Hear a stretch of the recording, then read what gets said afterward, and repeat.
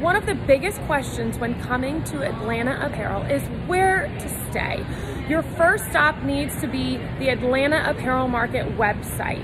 It's atlantaapparel.com. There you can get all of your travel questions answered, including where to stay. They have a full list of all of the hotels right around the, cent the convention center. So um, when I say right around, I mean like a block. The hotel that I'm in right now, the Marriott, is half a block away. It is so great. And it has a Starbucks inside of it, and it has a great restaurant and bar. And so the rates are gonna be way cheaper if you book through the website. Then if you get like a Marriott, for example, you can rack up those points and it'll just like keep ticking down those travel prices for, for you.